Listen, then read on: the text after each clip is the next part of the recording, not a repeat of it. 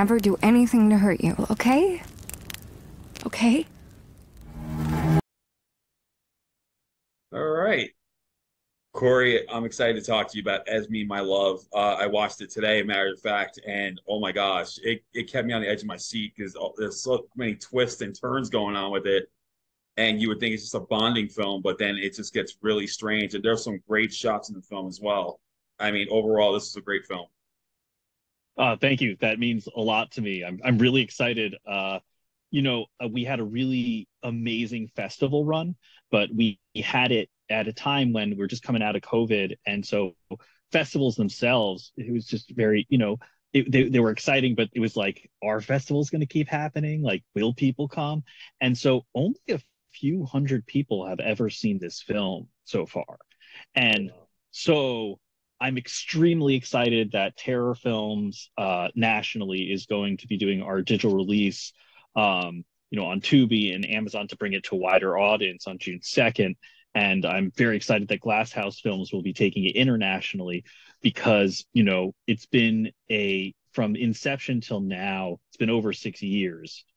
And we're just so excited and and and ready for people to see what we've been cooking this long. That's awesome. Well, I know that you were credited with the story. So, where did the idea for the film? How did how did you come about that? How did it all start? So, uh, I worked with a scriptwriting partner, uh, Laura Allen, who actually wrote the screenplay, and then I added uh, edits to it. But I came to her with a lot of bullet points and ideas and very specific things that we were going to do. Um, I had been looking for a writing partner for a long time because I knew I wanted to tell the story of a relationship between a mother and a daughter. So, one thing, first and foremost, it's very important that I be working with a partner who is a woman, um, because uh, that's a very special, unique relationship. And while just a parent child relationship is also special and unique, there's something very, very just different about the mother daughter relationship. So it was very important that I work with a woman there. Um, and Laura was amazing. But the inspiration for the film really comes from two different places. The first is something that will just kind of like it stuck with me for many years, actually, way before I started thinking about this film. A woman told me this story. And when she explained to me the story, I was like, that's absolutely horrifying. And she told me the story about um, when she had just had her daughter. Pardon me, I'm just adjusting microphone. When she had just had her daughter, and um, daughter's now a toddler, and you know, it's not, it's not uncommon for her to like run down the hall or walk down the hall in the night and say, you know, how are you doing, mommy? This time, um, she's walking down the hall somebody's following her. Somebody who uh, they've never seen before. And you know for me as a new father relatively new father i've got a five year old and a soon to be two year old i'm just i tense up and i'm like wow that's terrifying. And she goes no this was actually the most beautiful and amazing experience in my life because that person was an angel. And i said what and she said I was filled with the most incredible feeling I've ever had. And um, I was like, this sounds so horrifying. And she's like, well, you know, for me, this was the most pivotal, beautiful one, maybe the most, one of the most pivotal, beautiful experiences of my life. So I just had this feeling where this thing that she described to me just sounded so scary, but to her was the most beautiful thing. And the fact that one event can be experienced so differently, right?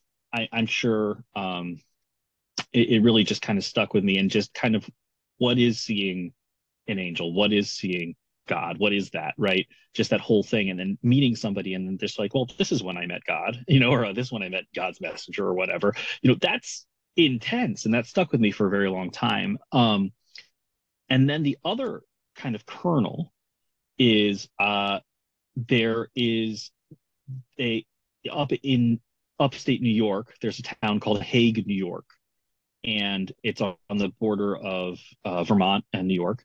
It's in the New York side, and there is a family, the Delorme family, that has a old abandoned dairy farm. It, it's no longer an active dairy farm, but um, the town historian there is Sally, and she has two sisters, Sherry and Susan.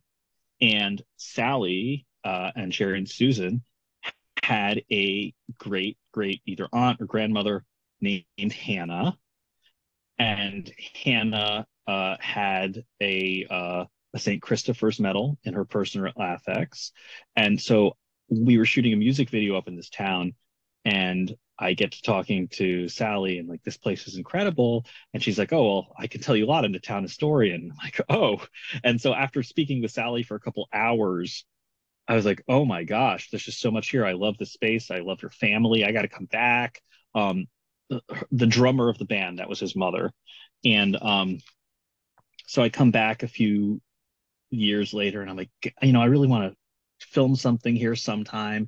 And I learned more about the family and we incorporated much of the Delarme family history and lore into our characters. Is it a one to one ratio? Is like Hannah based on Hannah? No. But is that St. Christopher's medal in the movie actually over 100 years old? Yes. It's from Hannah.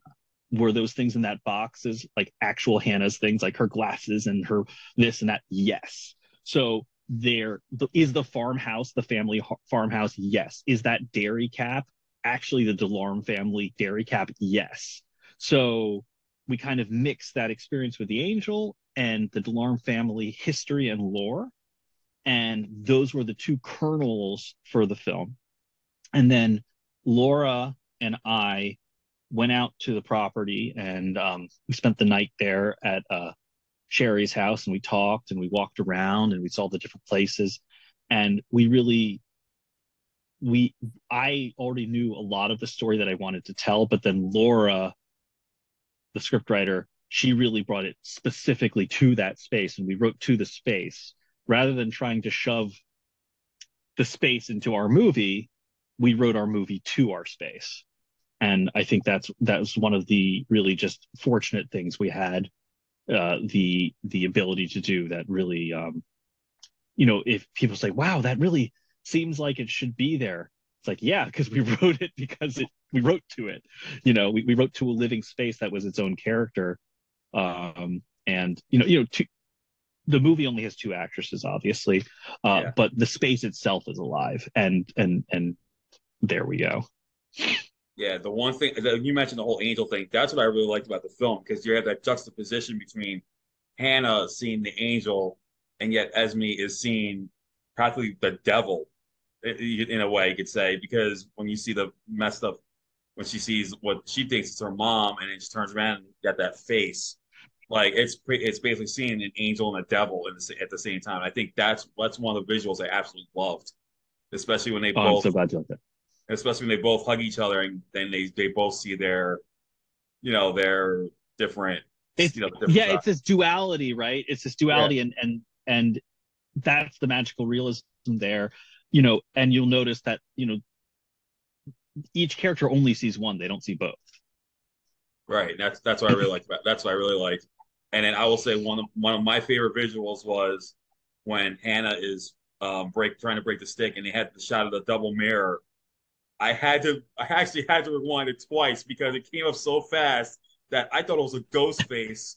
And then I paused it. I realized it was Hannah's face from a different angle, but it was so well shot that it looked like it scared the crap out of me at first because it looked like a go like from an angle it looked like a ghost face. It had the eyes in the like open mouth like the, and I was just like, wait a minute, did that just happen? I had to, like so I rewound, so as I rewound the, screen, I'm like, oh, that's just her. I was like, that's her face, but that visual was just that just hit me like hard, and that that was an amazing shot right there. Thank you. Uh, my cinematographer Fletcher Wolf, she's she's absolutely one of a kind, and it was such it was so amazing working with her. Um, so yeah, and just the whole team. You know, a filmmaker's only good as good as their team, and I happened to spend a really part of what took me so long was uh, making sure I was assembling the right team. Yeah, exactly. And then speaking of the cast, like you said, you just had two actresses in it, and they were phenomenal. I mean, hands down. I mean, they both brought that mother daughter quality to the film. The chemistry was fantastic between them. And then, you know, as it delves, it delves deeper into the story, it started to remind me of The Shining. You know, the mother starts to go a little crazy, and you know, I'm thinking what's going to happen to the girl at one point, and like I kept thinking of all these different theories as I'm going through the film. This is why I like the film. I like a film that engages me so much that I have to come up with what I kind of tend to come up with. Maybe this is what's going to happen. This is gonna, you know, it, it, that's what I like. I like a movie that gives a good story where it's going to keep you guessing about what really happened, and that's what I really loved about it. But Stacy, I'm so glad. Yeah, yeah, I'm so glad that you said that. I, I really hope that people are going to want to watch the movie twice to pick up more. Yeah. Um, but it seems like you probably. It's funny. This film on the on the festival circuit uh, was very divisive. It was really two camps. Um, there's nobody who felt middle road about this film. There are people who absolutely loved it, and there are people who just hated the film. And I think it's the people who wanted to just sit back and be entertained and not have to be engaged with the film and then they just felt frustrated and overwhelmed but then people who were engaged with the film and actively like solving the mystery everybody everybody who solved the mystery really really did like the film and that was very gratifying to see. Um and then there were some folks that that wanted to they they were pretty sure that they solved it but they had to watch it again to make sure absolutely and then they they found other things. It, it is a very fun movie in that we do throw Easter eggs throughout the whole film, and on second watch, you, you might you you might be surprised uh, to to to see or hear some things that you didn't realize were there uh, to begin with. Uh, quick question: Did you watch on headphones or did you watch with speakers? I watched it. Um, I have uh, I have the I had the app on my t my actual smart TV, so I actually watched it on there. so it allowed on okay. my Roku. So I was able to on my Roku. So I, ha- I, actually had the app on there where the screener was that. So I was able to, you know, that's why, that's why I said when I saw the double mirror shot, I had got to rewind it. I'm like, wait a minute, what just happened? Was that like a ghost face I just saw, and not realizing it was Hannah's face from a different angle?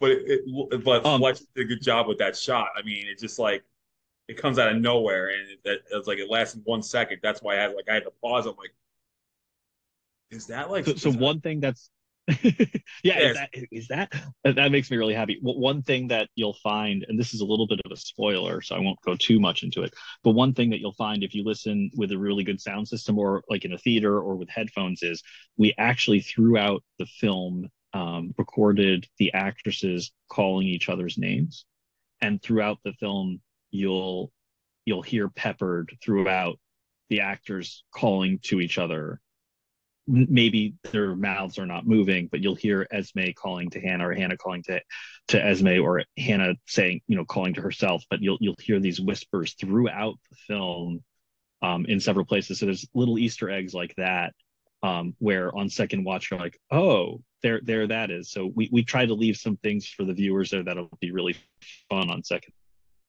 Oh, that's awesome. Watch. That's awesome. So what was what uh, Audrey and Stacy were great in the film. I mean, they brought this really great dynamic and chemistry.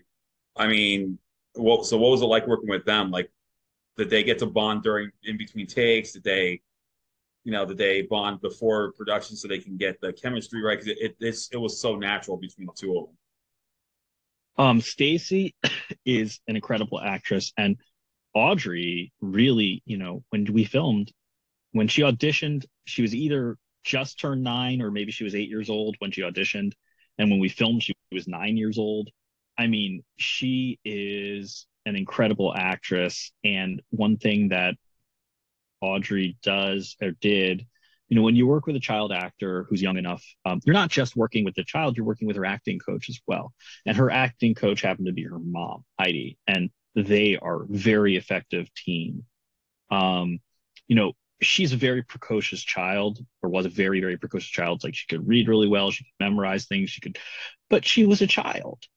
And it's important to remember that. So like between takes yeah she had her favorite stuffed unicorn or her little stuffed you know like stuffed swan or whatever and playing games and like sometimes she she would ever and you don't you don't say i'm going to do this we're going to do this despite that. You say well no we're going to incorporate that's part of it. You know you you you you engage your actress where she's at and um, stacy really helped with that um, she's like, we're going on this journey together. You know, not only is not only are these characters going on a journey, but me and you, we're we're going on a journey. We're gonna we're gonna be out here doing this film together, and we're so I do think there was a good amount of bonding there.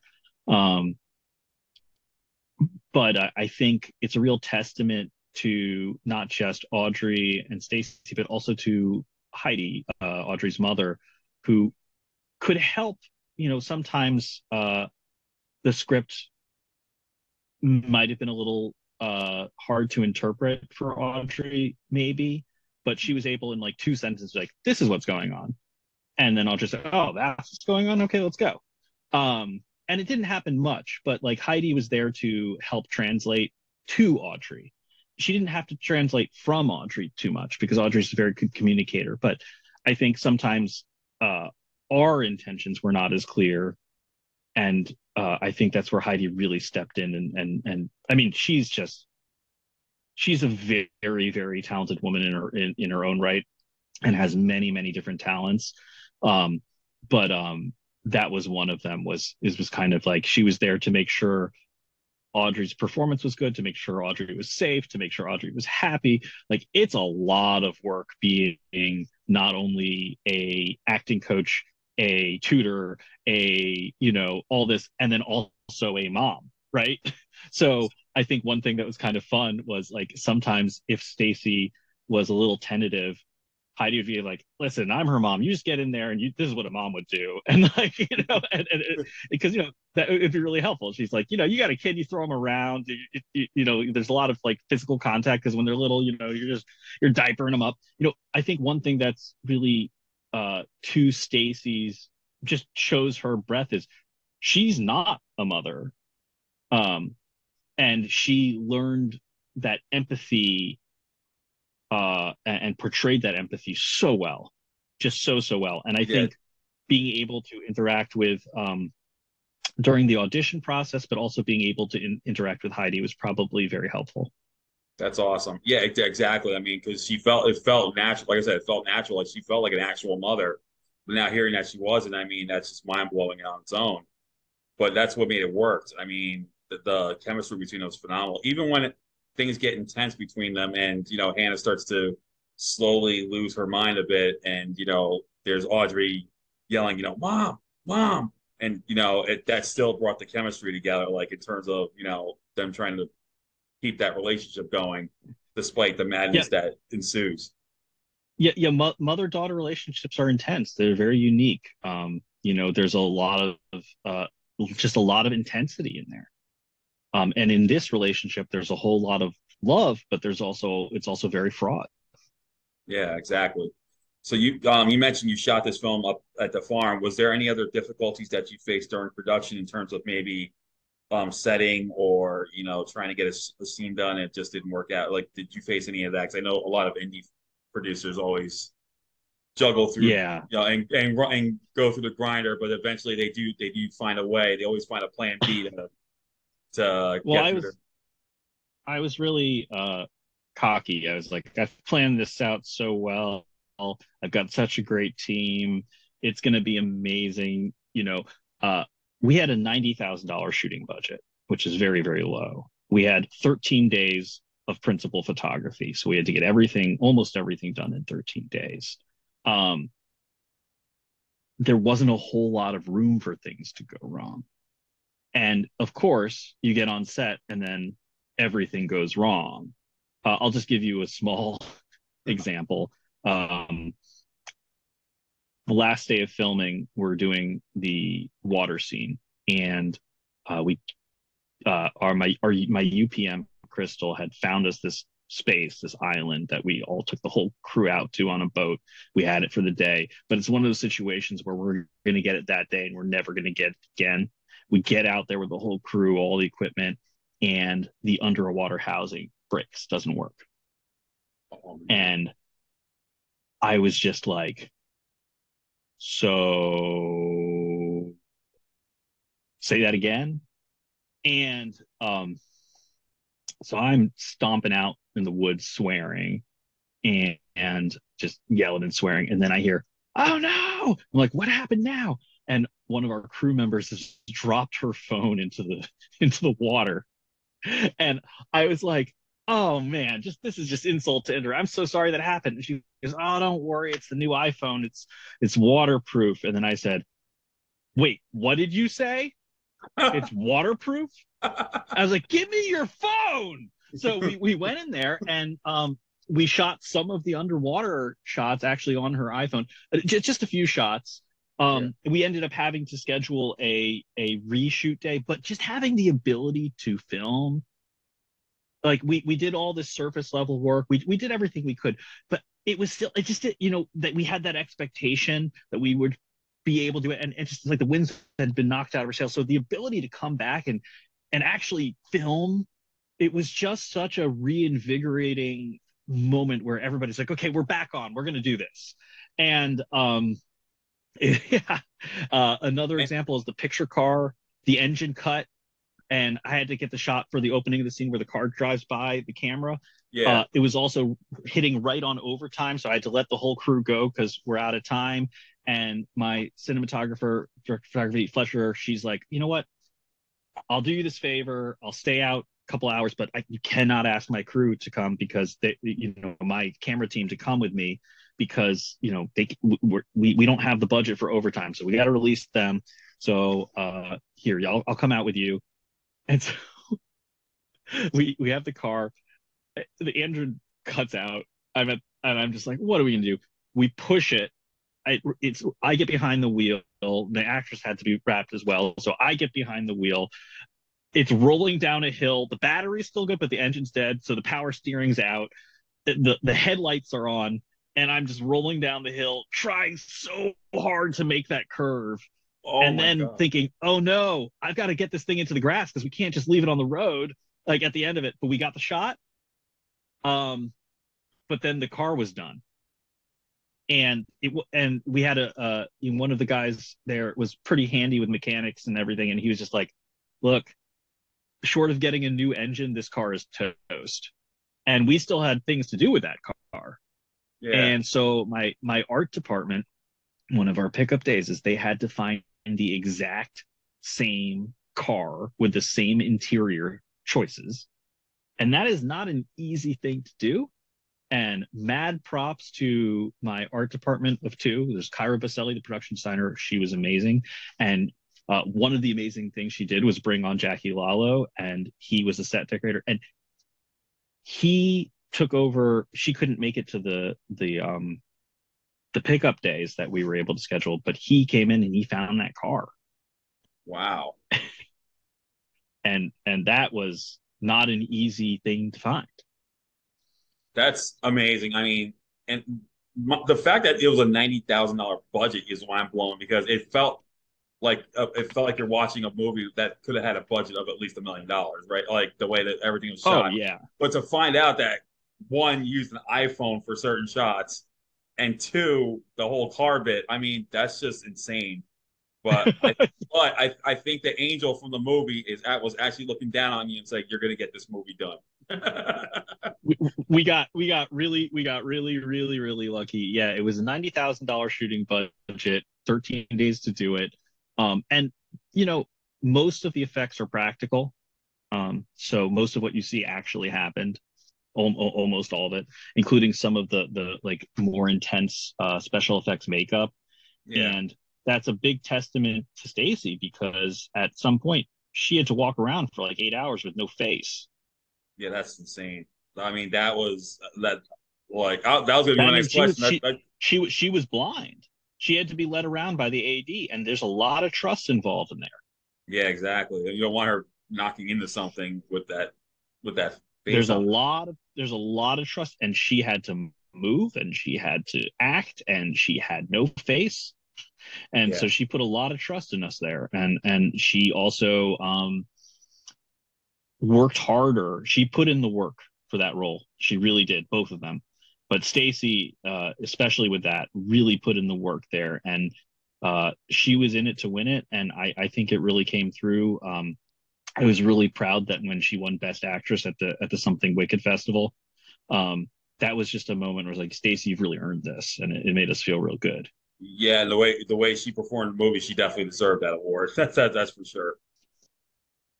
So that that felt I, I think that's a very well deserved uh, uh, award for her, and I'm really really happy she won that. That's awesome. Well, with that said, um, now that's going to be coming out on June second. What's next for you that you can talk about? So I'm I'm really happy uh, it's coming out on June second. If you want to see the film, you go to www.esmemylove.com and I'll have all the links for you on June 2nd. So you'll go to Tubi or Amazon or Apple or Google Play. That's where you'll be able to see the film. Um, if you want a DVD or a Blu-ray, uh, you'll be able to order it with a donation to the website, and I will personally be burning them one at a time for anyone who actually wants a physical one because there's just something for me. I like to have physical copies of my films sometimes. Yeah. Like when it when it's a, when it's one that that matters to me. So like when there's a movie that really matters to me, I'm like I need that DVD. I need that Blu-ray. I'm gonna go get it.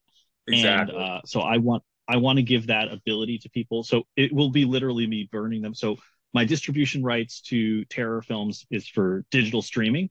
And I've retained my personal DVD and Blu ray rights uh, because I wanted to make sure that option was there for people there. So, oh, in awesome. terms of projects that are coming next, um, I'm very excited. A short audio drama that I've developed has been accepted in Tribeca Festival. So, um, right after the film comes out the next week, we'll be playing in Tribeca. Um, and then I have a uh, a horror sci-fi podcast, narrative podcast that uh, I have in development. I'm very excited to direct. Oh, that's amazing! I can't I can't wait for those. That, that they sound really good.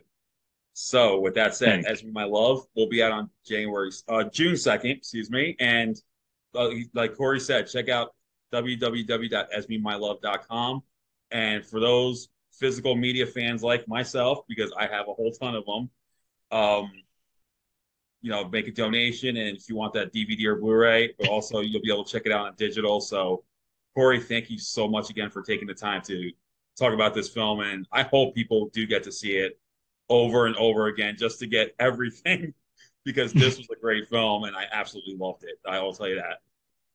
Oh, thanks, man. I appreciate it. All right. Well, you all oh. have a great day, and we'll see you next time.